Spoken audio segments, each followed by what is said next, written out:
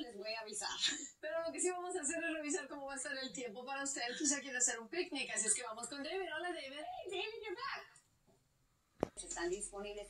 Tenemos una señal de alerta y desafortunadamente se trata de una fatalidad. Esto se registra en el I y para usted que transita sobre la autopista 60 en sentido este, cerca de la Vineyard Avenue. Aquí es donde tenemos tres de los carriles paralizados y estamos viendo esa lentitud. Usted actualmente va a estar manejando a una velocidad de aproximadamente 25 millas por hora más o menos y obviamente eso también se reduce una vez que usted se acerque a, esta, a este incidente. Así que una vez más recalcando que se trata de una fatalidad, así que todavía no sabemos cuándo van a reabrir esos carriles, pero sí se tratan de tres carriles causando esas demoras. La 10 en sentido ese sería su mejor opción o si quiere también puede usar la autopista 210. La Riverside también podría ser una buena opción si es que quiere seguir su curso y luego subirse una vez que usted pase la Vineyard. Así que por ahora esa es la situación sobre la autopista 60 en sentido este. Nos vamos afuera para darle un vistazo